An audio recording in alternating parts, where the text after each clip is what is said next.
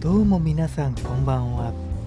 え今回はですね吉野家の期間限定メニュー食べてまいりました。牛すき丼624円です。だいぶねウクライナ情勢の影響で食材も値上がりしてますよね。この間ね行きつけの家系ラーメン行ったんですけど以前だったら650円で食べれたんですけど今800円になってました。値上がりしてますね。え今回はですねこの牛すき丼。え具材はですね人参牛肉ネギ豆腐こちらの方が入ってましてねすき家さんからもすき焼き丼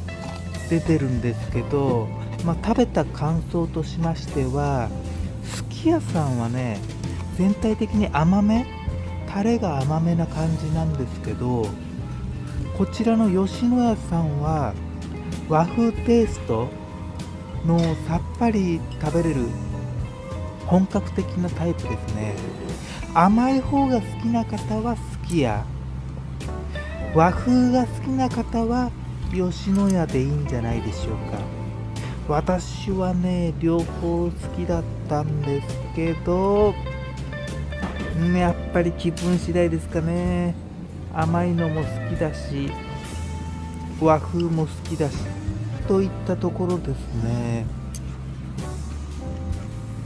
えー、今回はですね吉野家さんの牛すき丼ということでねまたいろいろなねところに行ってチェーン店なんかもね食べていきたいと思いますので、えチャンネル登録お待ちしています。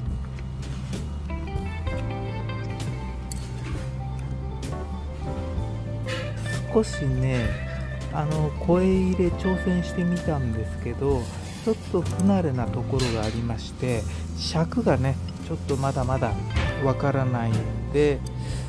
えまあこんな感じにはなったんですけどえまたね情報を届けられるよう頑張りますので